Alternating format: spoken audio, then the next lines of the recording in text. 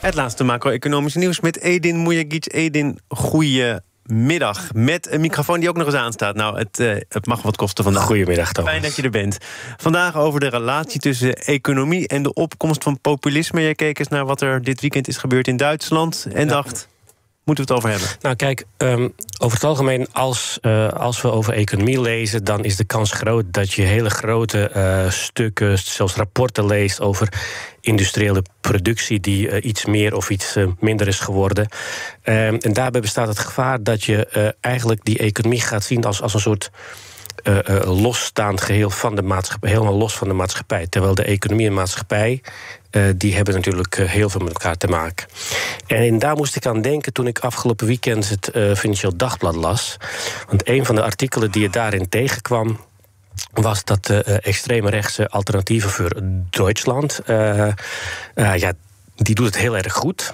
als er nu verkiezingen in Duitsland zouden zijn uh, zou uh, die partij uh, groter zijn dan de regeringscoalitie op het moment. er zijn dit jaar later verkiezingen in belangrijke deelstaten. Klopt. en in die deelstaten scoort deze partij veruit het best. Um, en wat je dan ook leest, ook in dat stuk, is dat, dat er meteen een soort Pavlov-reactie komt. Uh, er wordt gesproken over het eventueel verbieden van die partij. Nou, ik nou, ben... mag ik er wel even bij zeggen, we hoeven er geen politiek gesprek van te maken. Maar uh, de ophef ontstond ook omdat partijprominenten uh, bijeen waren Zeker. gekomen met neonazies. Zeker. Dus... En gesproken hebben over een groot plan om migranten te ik deporteren. Ben, ik ben geen jurist, ik ben geen politicus. Dus dat laat ik heel graag aan die mensen over. Um, als econoom valt het mij wel op dat dit weer eens een voorbeeld is van hoe, uh, hoe onze maatschappij, onze beleidsmakers toch hele grote problemen proberen op te lossen onder de aanhalingstekens. Met inflatie zagen we dat ook. Toen de prijzen begonnen te stijgen, uh, werden er heel snel maatregelen genomen. Mensen compenseren daarvoor. Er waren landen waar prijzen bevroren werden. Weet je, dat zijn geen oplossingen. Uh, uh, je pakt het onderliggende probleem niet aan en je laat het het probleem eigenlijk dat, dat dat groot is, nog groter worden. Hier denk ik, het uh, spreekwoord uh, zachte heelmeesters maken stinkende wonden echt van toepassing. Dus bij dit voorbeeld uh, zou je eigenlijk moeten vragen: waarom is die partij zo groot? Of in het, om, het wat algemener te maken, waarom zijn dit soort partijen in heel veel landen, in Europa, in de VS, steeds populairder aan het worden? Um, en dan zou mijn antwoord zijn: ja, het is een uiting van grote mate van ontevredenheid onder het volk. En dan is de volgende vraag: waarom is men ontevreden? Um, en ik denk dat het heel sterk te maken heeft met het feit dat afgelopen 40, 50 jaar zijn aan ons allemaal in feite gouden bergen beloofd door technologische vooruitgang en globalisering. Um, en heel lang geloofde men dat ook, omdat, omdat de welvaart enorm steeg. En laten we de fout niet maken. De, als je kijkt naar de levensstandaard van de afgelopen decennia, die is natuurlijk vele malen hoger nu. Kijk naar de zorg, uh, stukken beter. Maar ik denk dat veel mensen er de laatste jaren achter zijn gekomen dat die met die welvaartstijging dat het toch een beetje tegenviel. Is dat een gevoel of kun je dat? Dat is geen gevoel. Nee. Dat, dat kun je staven aan de hand van de feiten. Want de, de reden waarom men heel lang het gevoel had dat de welvaart steeg was. Uh, dat wij heel veel dingen zijn gaan kopen met leningen.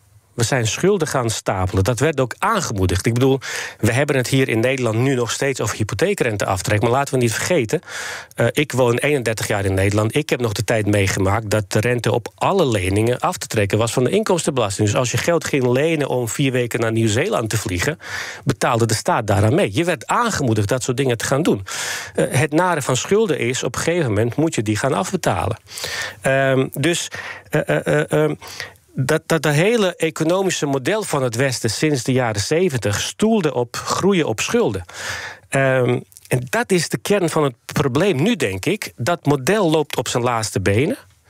Uh, levert niet meer op wat het heel lang heeft geleverd.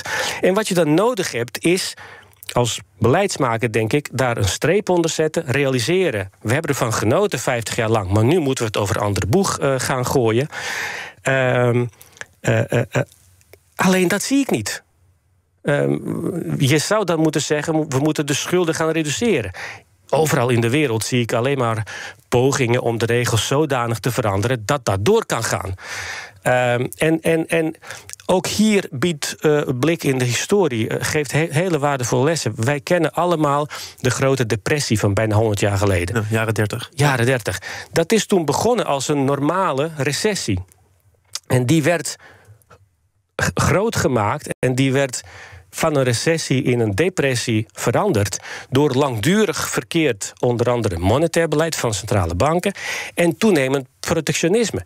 En als ik zo naar de wereld van nu kijk, wij zijn die fouten aan het herhalen. Nou, behalve in Davos. Daar praten ze over het herstellen van het vertrouwen. En vandaag, vandaag komt het World Economic Forum met elkaar thema van dit jaar, herstel van vertrouwen.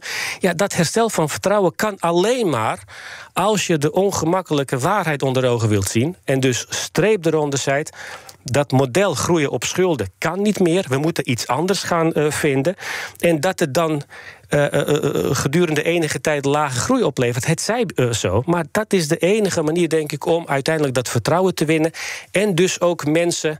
Um, te laten zien dat, dat het niet de oplossing is om te stemmen op de partijen die hele simpele oplossingen hebben voor hele complexe maar problemen. Groei, tot slot, dat heeft toch ook gevolgen voor onze welvaart? En als die welvaart afneemt, omdat de groei afneemt, is dat toch ook een voedingsbodem voor ja, maar ontevredenheid, voor eh, populisme? ik kan me heel goed voorstellen dat je in de jaren 50 en 60 met de toestand van toen, dat streven naar meer welvaart, dat was heel logisch. Want kijk naar de zorg bijvoorbeeld, we wilden allemaal allemaal ziektes gaan, gaan genezen.